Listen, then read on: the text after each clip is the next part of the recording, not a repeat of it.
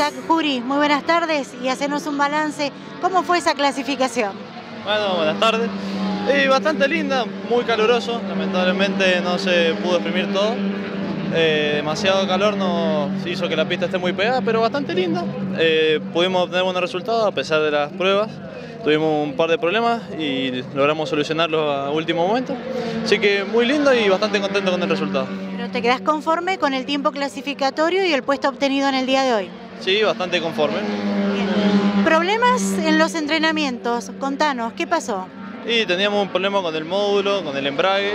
Eh, pero logramos solucionarlo y también la caja de cambio. Teníamos un pequeño problema con la cuarta, pero el mecánico logró solucionarlo. Bueno, ¿te complicó un poco el tema de, de comenzar con los entrenamientos en este cambio de circuito?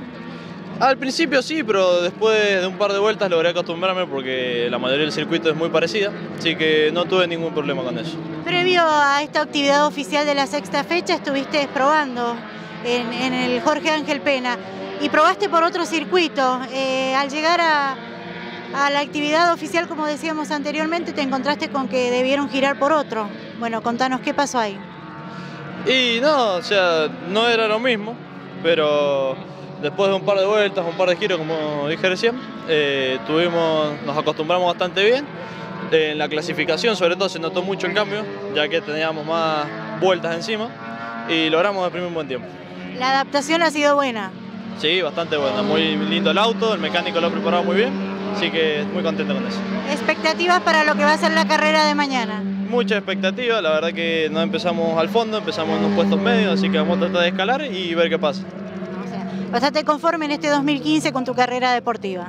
Sí, muy conforme, la verdad que para hacer un debut estoy bastante conforme y bueno, veremos qué es lo que pasa el año que viene. ¿no? Seguramente tenés agradecimientos porque hay gente que te acompaña detrás tuyo.